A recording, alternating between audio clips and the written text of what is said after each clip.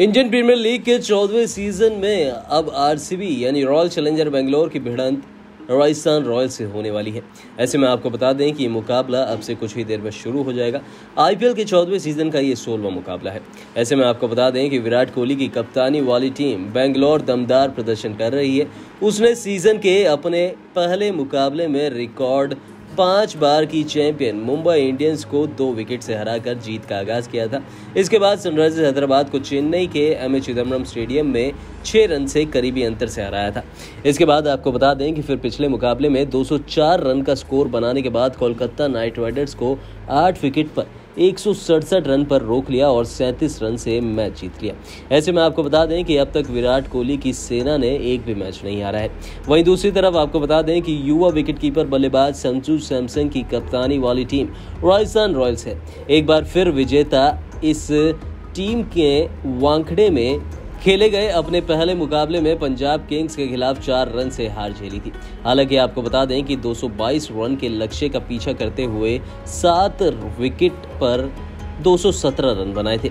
इसके बाद दिल्ली कैपिटल्स को तीन विकेट से मात दी।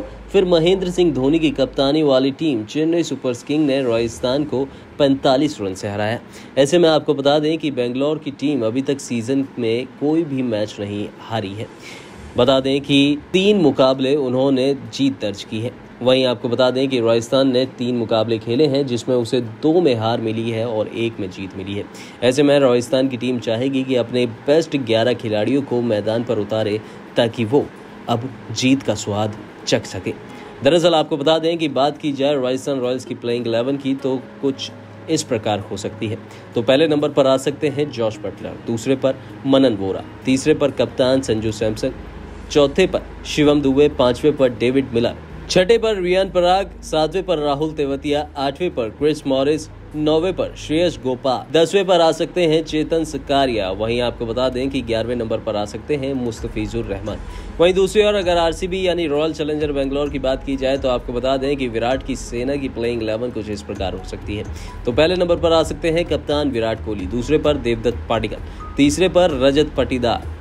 चौथे पर ग्लेन मैक्सवेल, पाँचवें पर ए बी डिविलियर्स छठे पर वॉशिंगटन सुंदर, सातवें पर शाहबाज अहमद, आठवें पर कायल जेमिसन, नौवे पर हर्षल पटेल, दसवें पर मोहम्मद सिराज और ग्यारहवें नंबर पर यहाँ पर आ सकते हैं युजवेंद्र चहल ऐसे में देखना दिलचस्प हो जाएगा इन दोनों ही टीमों के बीच का ये मुकाबला आखिर कैसा रहता है। एनपी न्यूज़ रूम की रिपोर्ट।